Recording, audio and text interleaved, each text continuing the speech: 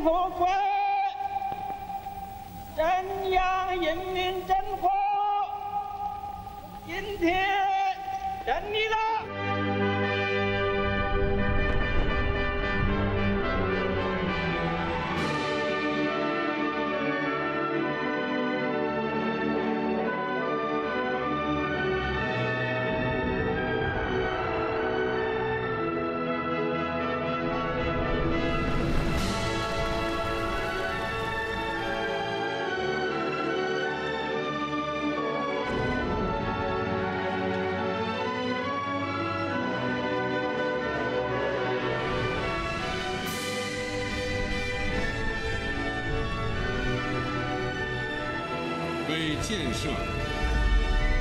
强、民主、文明、和谐、美丽的社会主义现代化强国努力奋斗。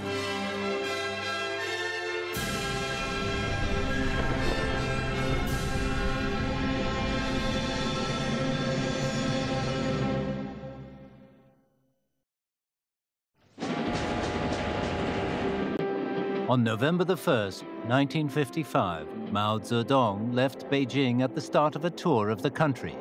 He would visit a total of 16 cities, including Tianjin, Dezhou, and Jinan. Wherever he went, he held discussions with the local cadres and inspected factories and construction sites.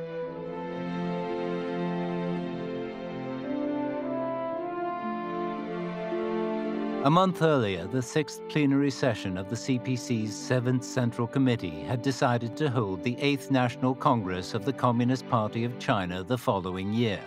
The inspection tours undertaken by Mao and the other leaders were part of the preparations for the Congress.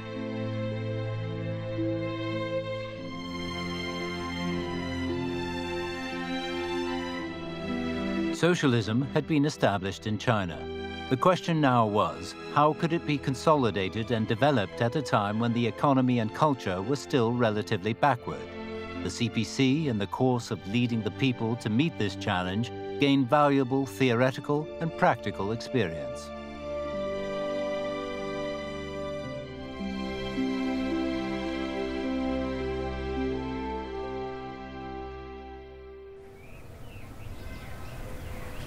Back in Beijing, Mao spent 43 days listening to the work reports submitted by 35 departments of the State Council. He also carefully examined the National Planning Commission's report on progress in the second five-year plan.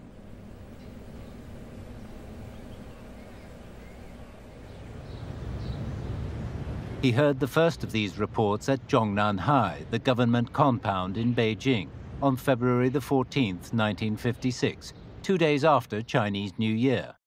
Submitted by the Third Office of the State Council, it concerned the state of heavy industry. On the same day, in Moscow, the 20th Congress of the Communist Party of the Soviet Union convened. It was a meeting that would expose shortcomings and mistakes in the way socialism was being built there. The Communist Party of China, which was still in the process of establishing socialism, paid close attention. Mao Zedong said, Do you want to follow the detours they have made? It was by drawing lessons from their experience that we were able to avoid certain detours in the past, and there is all the more reason for us to do so now. Referring to the lessons that could be learned from the Soviet Communist Party Congress, he stated, The most important thing is to think independently and integrate the universal truth of Marxism Leninism with the concrete practice of the Chinese Revolution and construction. Now that we have entered the period of socialist revolution and construction, we should carry out a second integration and explore a path for socialist construction in China. In between studying reports, Mao spent six days in succession visiting an exhibition on the machinery industry. The exhibition was being held on Yingtai, an island in the lake within the Zhongnanhai compound. The building was old, but the exhibits inside represented the most sophisticated products of Chinese industry at the time. During his afternoon visits, Mao would inspect the items carefully sometimes even asking for the manuals so he could learn more about them.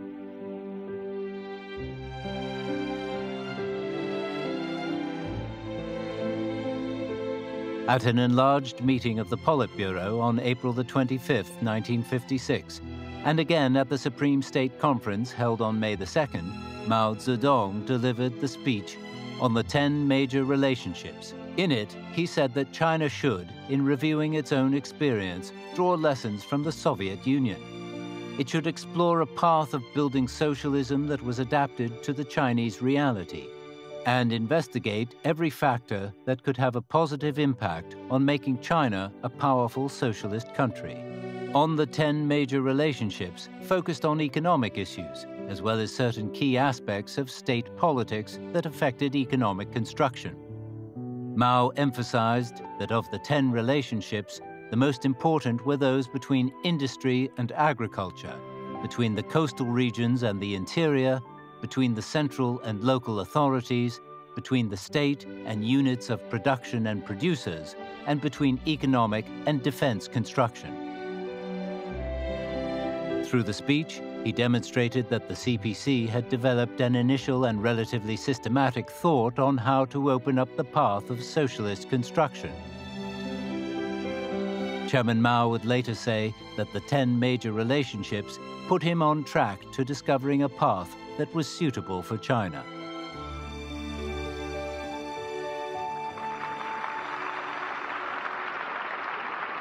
Progress was unfolding on several fronts. In January 1956, the CPC Central Committee had convened in Beijing to discuss the issue of intellectuals. At the meeting, Zhou Enlai said that most intellectuals now belong to the working class as a result of a fundamental transformation of their collective attitude. Based on this evaluation, the CPC was able to formulate a correct policy towards intellectuals in the socialist era. On the final day of the meeting, Chairman Mao made a speech. In it, he said, What forms of revolution should we now carry out? We need to carry out a revolution in technology. It's called a technological revolution. We should engage in science, which is a revolution against stupidity and ignorance, a cultural revolution. He called on every party member to study and gain a knowledge of science.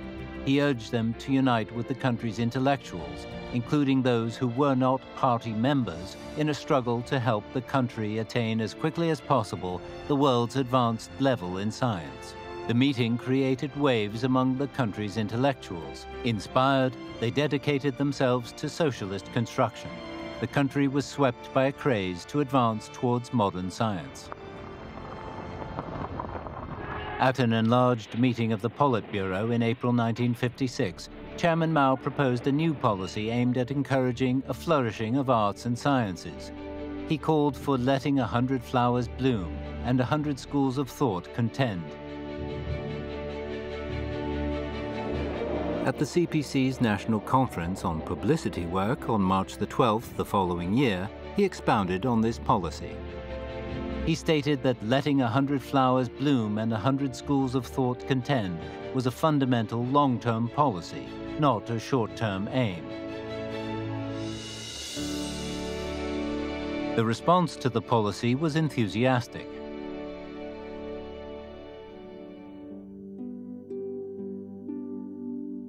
Well-known biologist Tan Jiazhen was present when Mao made the speech. He later recalled both for China's efforts in genetics and for me personally, this policy was like a sweet shower after a long drought. It was a great support for me, something I'll never forget as long as I live.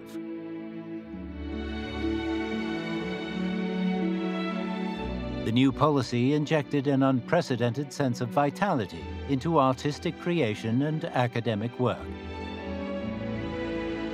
In 1956 alone, 50 major national academic conferences were held and more than 2,000 scientific papers were published.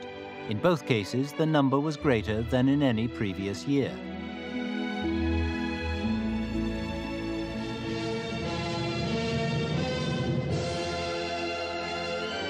The 1950s and 1960s produced vast numbers of hugely popular novels, plays, and films reflecting the climate of the times.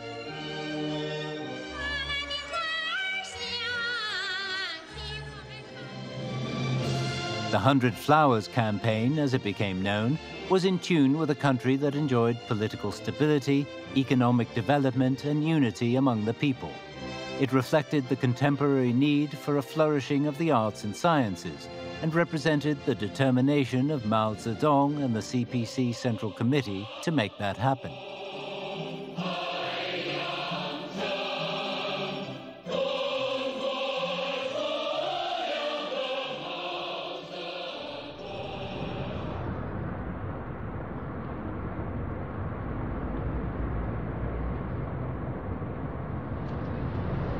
On September the 15th, 1956, the Communist Party of China convened its eighth National Congress.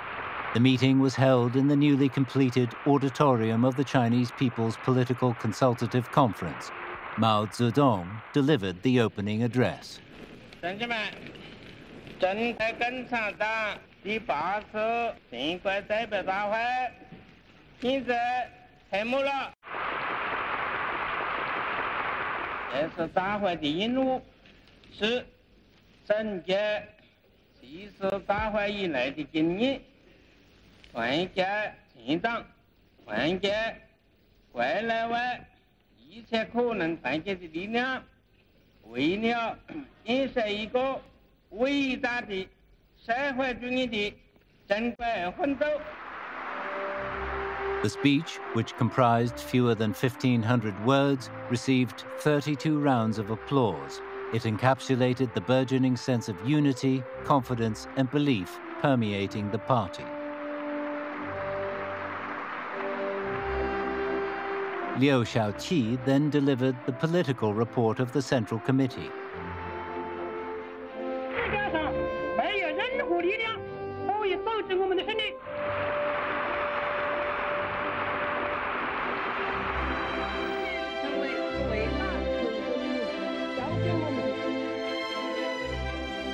The Congress, in adopting the report, noted that China had essentially established a socialist society. However, it was still facing some serious issues. Domestically, the most pressing was the failure of economic and cultural development to progress rapidly enough to meet the people's demands. The priority for the party and the people was to focus on developing production capacity and transforming China from a backward agricultural society into an advanced industrial society as quickly as possible. In this way, the people's growing material and cultural demands could be met.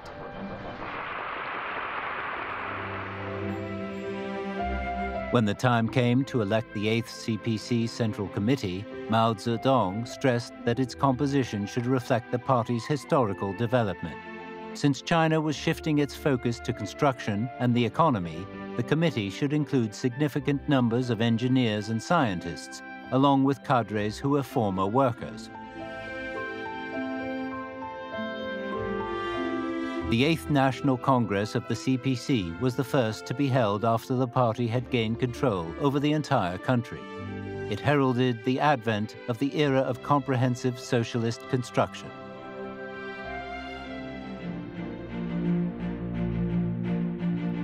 However, this era would witness unrest in some socialist countries in Eastern Europe. In China, several new contradictions also appeared in society.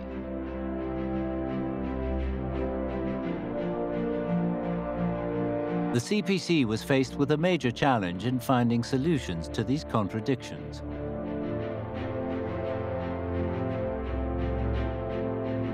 In November 1956, the second plenary session of the 8th CPC Central Committee convened. Drawing on the lessons learned from Eastern Europe, the meeting emphasized that in addition to ensuring the well-being of the country and people, the party must also prevent cadres from being seen as privileged and removed from the masses. The meeting decided that action was required to rectify the work style of party officials. The deliberations were extensive and took into account the lessons learned from the major international and domestic events in the past year. The outcome was that Mao Zedong thought on how to resolve the contradictions among the people began to mature. At the Supreme State Conference held at Zhongnanhai on February the 27th, 1957, Mao delivered a speech on the correct handling of contradictions among the people. In it, he noted that in their nature, the contradictions among people were fundamentally different from those between the people and enemy forces. For the party, which now governed the entire country, the most important task was to use democratic means, persuasion, and education to resolve the many contradictions among people. His speech was a major theoretical landmark on the CPC's path to socialist construction.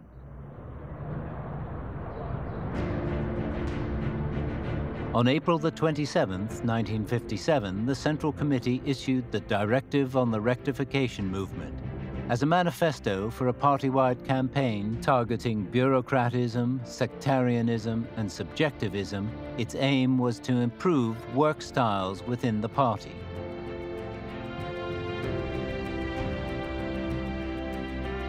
Three days later, Chairman Mao invited the leaders of the country's other democratic parties to an informal discussion. By seeking the assistance of these democratic figures, he was demonstrating how sincere the CPC was about rectifying its work style.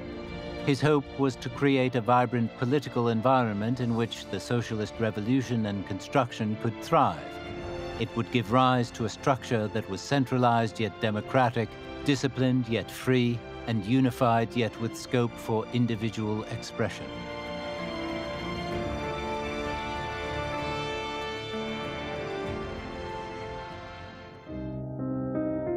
But as the campaign progressed, a small number of capitalists and rightists seized the opportunity to attack the CPC and the nascent socialist system. Although countermeasures were needed, the seriousness of the situation was exaggerated. As a result, there was a serious overemphasis of the anti-rightist struggle, which led to unfortunate results.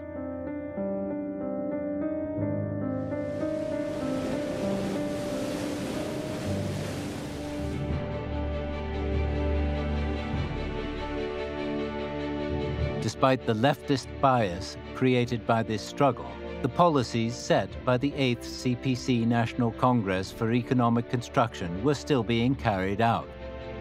In a display of hard work and unity, the party and the people not only completed the first five-year plan in 1957, but greatly exceeded all of its targets. Production was soaring at factories and farms across the country. The fervor with which people were building socialism reflected the pressing desire to improve China's backward economy. The belief was widespread that progress could be even faster than it had been under the first five-year plan.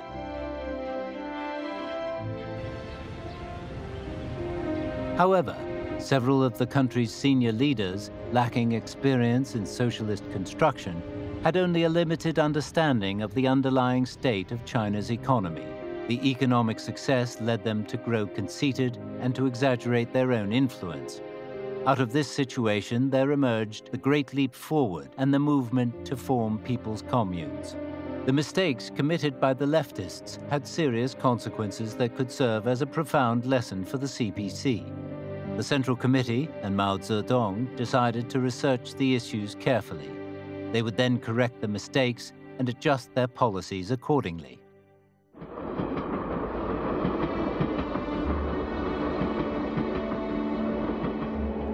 In October 1958, Mao Zedong paid another visit to the south.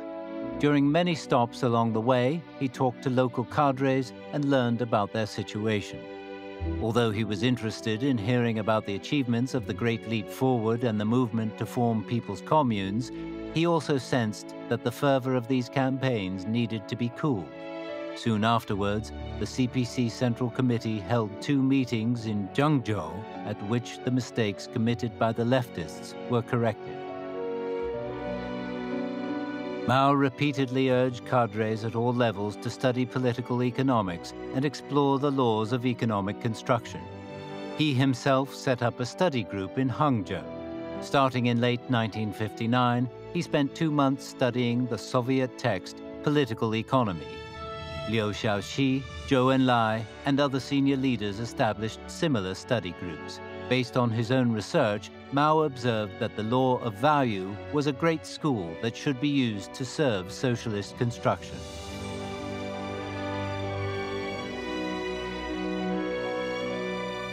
In January 1960, an enlarged meeting of the Political Bureau of the CPC Central Committee convened in Shanghai. On the last day of the meeting, Mao presented the text, Decade in Review. In it, he offered a preliminary assessment of the challenges faced by the People's Republic over the previous 10 years. He admitted, We still have insufficient experience in socialist construction.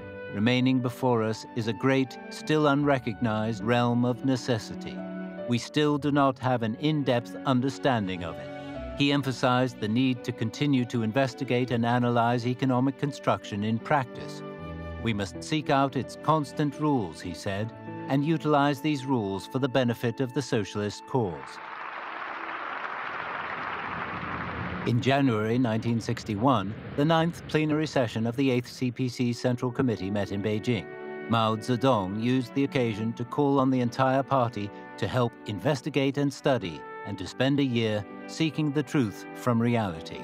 In response, the entire Central Committee set out to gain first hand experience of party work at the grassroots. Based on what they discovered about the situation on the ground, they created new policies designed to open a splendid new chapter of investigation and study. Mao Zedong personally organized three investigation groups, which were sent to villages in Zhejiang, Hunan, and Guangdong provinces. Liu Shaoqi went to the city of Changsha and Ningxiang County in Hunan. Zhou Enlai went to Wu'an and Shexian counties in Handan, Hebei. Zhu De toured the provinces of Sichuan, Shanxi, and Henan. Chen Yun went to Qingpu County in Shanghai and Deng Xiaoping traveled to Shunyi and Huairou on the outskirts of Beijing.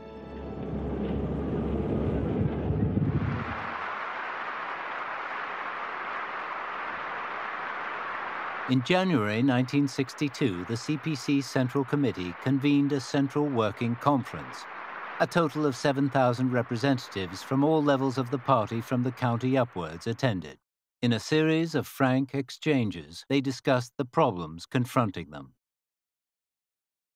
Subsequently, a policy was introduced of readjustment, consolidation, filling gaps, and raising standards. This helped China adjust its economy and recover from the downturn.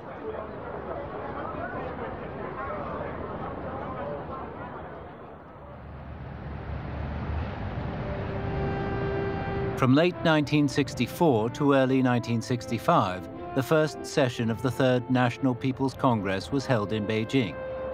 For the first time, the goal was set of building China into a strong socialist country with modern agriculture, modern industry, modern national defenses, and modern science and technology. The meeting also confirmed the strategic goal of realizing industrialization in two stages. The two goals served as a major blueprint and motivation for uniting every ethnic group in the country in an unremitting struggle. By late 1965, the adjustments to the national economy were completed. Total industrial and agricultural output reached record highs. During this period, the external environment was marked by hostility, blockades, and isolation inflicted on China by the imperialist countries. There was also a deterioration in relations with the Soviet Union. The external situation had a major impact on the CPC's assessment of the domestic political landscape and on its decisions regarding the key tasks and policies the party and state should carry out. Mao Zedong, as the leader of a ruling proletarian party, was keenly interested in the real life problems facing an emerging socialist society. He was extremely concerned that the party and people should consolidate their hard won rule. He was alert to the danger of capitalism being revived and was constantly looking for new ways to eradicate corruption, privilege, and bureaucratism from within the party and government.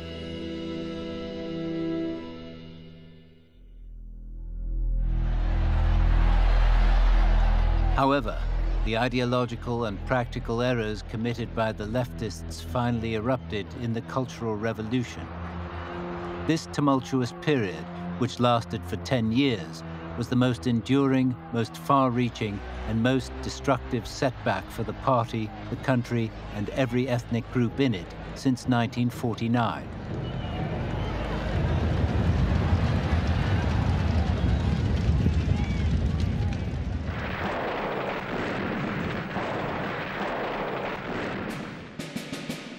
Ultimately, by relying on its inherent strength, the party was able to end the Cultural Revolution. Yet again, history proved the vitality of the CPC and the socialist system and testified to the CPC's ability to rectify its own mistakes.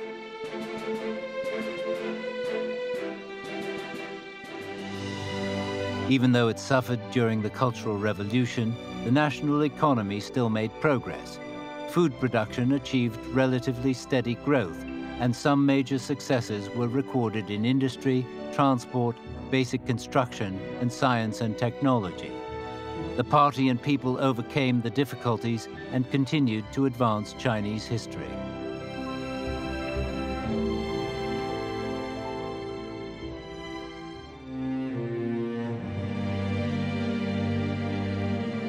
At 3.42 a.m. on July the 28th, 1976, a 7.8 magnitude earthquake struck Tangshan in Hebei province. The city was leveled and 240,000 people were killed and a further 160,000 injured.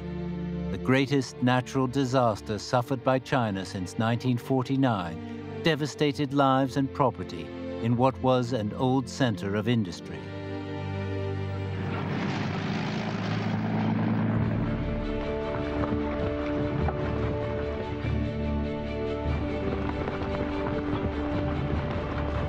Under the leadership of the Central Committee and supported by soldiers and civilians from across the country, the people of Tangshan undertook a heroic disaster relief and rebuilding effort.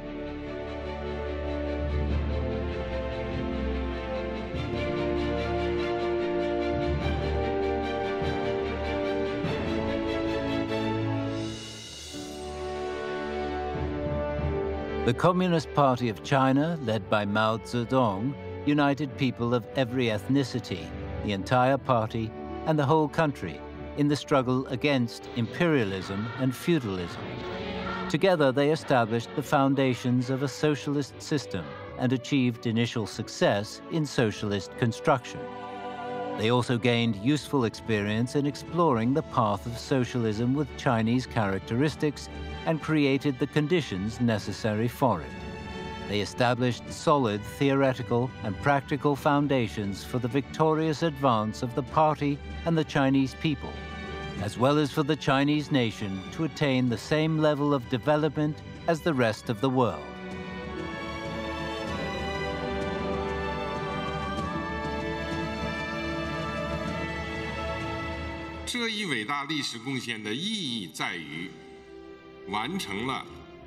中华民族有史以来最为广泛而深刻的社会变革，为当代中国一切发展进步奠定了根本政治前提和制度基础，为中国发展富强、中国人民生活富裕奠定了坚实基础。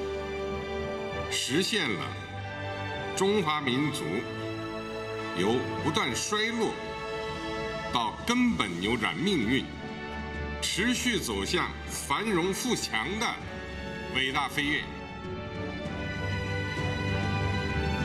The immortal contributions made by Mao Zedong and other revolutionaries to the Communist Party, to China, and to the Chinese nation will be inscribed for all eternity in the annals of the party and the country.